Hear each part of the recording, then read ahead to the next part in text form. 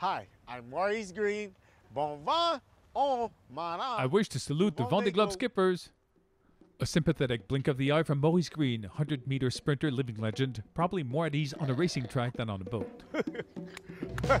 25 days into the race, and eight competitors are now sailing in the Indian Ocean, which means five are still in the Atlantic South, among whom Alessandro Di Benedetto bringing up the rear, but not on the razor's edge, so to say.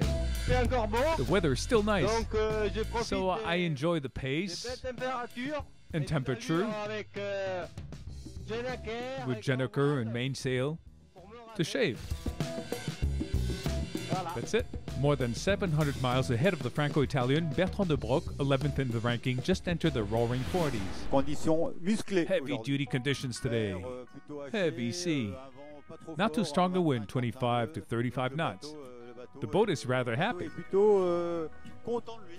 Il fait les belles glissades, Nice skates, good speeds, Great sensations, petits plaisirs de and nice surfing treats. There you go. hop, oulala, et Gotta hold on because You may not have noticed, but I have. je l'ai. Les the accélérations are quite fierce. In about 36 hours, Bertrand de Broc should reach the Aiguilles Gate, first of the nine gates placed at regular intervals in the Great South. Delimited by two GPS markings, these gates materialized in green must necessarily be taken into account by the competitors. Their aim is to reasonably keep them away of the Antarctic continent and by extension avoid icebergs or other growlers drifting under these latitudes. The second gate, named Crozet, is in the leading's group's aim. Voilà, on essaye de d'aller vite, We're trying to go fast, on se faire attraper par un cyclone derrière not to nous. be caught up by the anti-cyclone behind us. On a la porte des Crozets devant nous. Doesn't catch up. We have the Crozet gate in front. L'objectif c'est de passer la porte avant l'anticyclone The arrive. objective is to pass the gate before the anti-cyclone.